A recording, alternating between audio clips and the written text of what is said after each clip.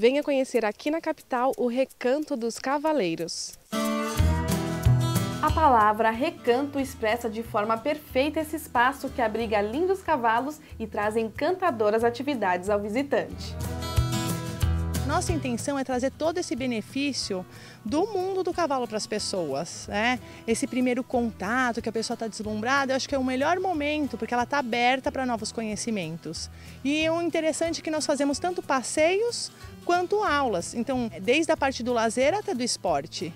Então, a questão de autoconfiança, controle, mesmo um hobby para a família, é muito legal. Você poderá participar das etapas dos cuidados com o cavalo e ter uma experiência inesquecível. Existe sim uma conversa interespécies e ela é muito importante. Então, de acordo com o meu posicionamento, minha atitude, meu tom de voz, é o que eu vou conversar com o cavalo.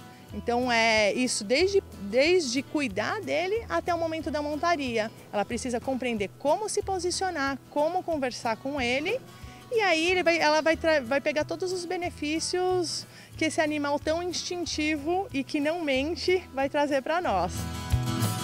Além do Recanto dos Cavaleiros ser um aras que hospeda os animais, ele oferece cavalgadas, ecoterapia e equitação. O recanto está localizado na Estrada da Riviera 2782, em Riviera Paulista. Para mais informações, acesse o site recantodoscavaleiros.com.br.